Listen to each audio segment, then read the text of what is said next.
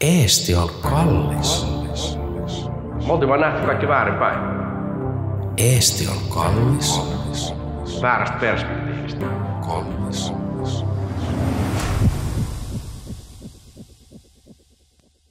Jotenkin se Tallinna oli vähän nähty. Hyökättiin Pärnu.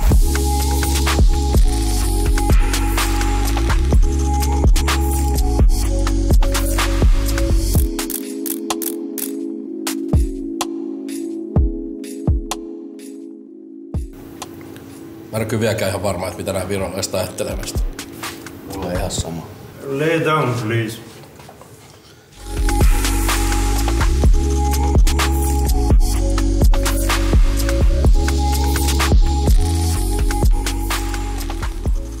Huh. Oliks kallis? No ainakin tuntu kalliilta. Se ei ollut. Mä lähtiin Pärnun kaduille yytäröimään, mikä meininki.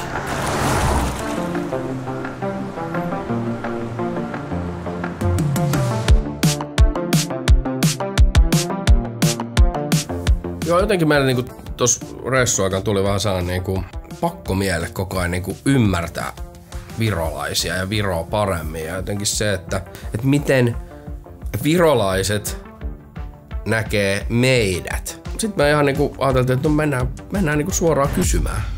Hei, kysytään täältä. Hei, hei, sori, sori, sori. Mitä te virolaiset ajattelette meistä suomalaisista? no teame, et soomlastele Eesti on kallis. Ei Eesti ole kallis, Eesti on halpa. ei, Eesti ei ole halb, Eesti on kallis. Eesti on kallis.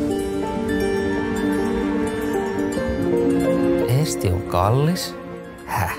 Eesti on kallis. Eesti on kallis. Ja jotenkin se oli niinku meille sellainen käännekohta, että silloin kaikki meni päälaelle. Että, että tuntui, että me oltiin vaan nähty kaikki väärinpäin. Niinku jotenkin väärästä perspektiivistä.